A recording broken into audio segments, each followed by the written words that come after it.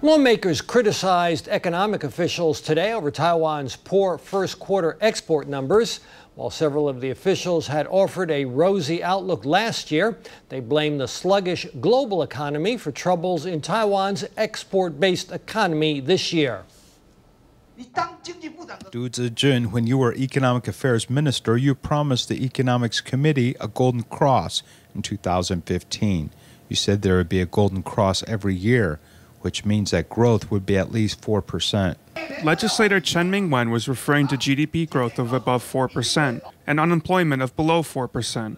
This prediction is threatened in part by exports of just 93.74 billion NT between January and April, a decline of 6.2% compared to the same period in 2013. The National Development Council's monitoring indicators switched from yellow blue to blue, which suggests a sluggish economy. It was the lowest indicator score in 33 months. The price of petrochemical products has dropped due to the drop in oil cost. We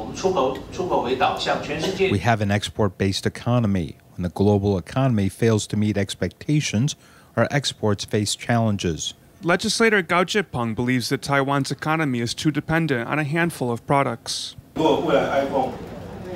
If there's no iPhone 7 or 8, what will we do?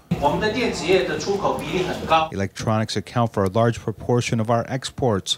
In particular, semiconductors are about 22%. When asked whether the NT dollar should be devalued to boost exports, Economic Affairs Minister John Deng said monetary policy involved many considerations and that his ministry respected the central bank's decision.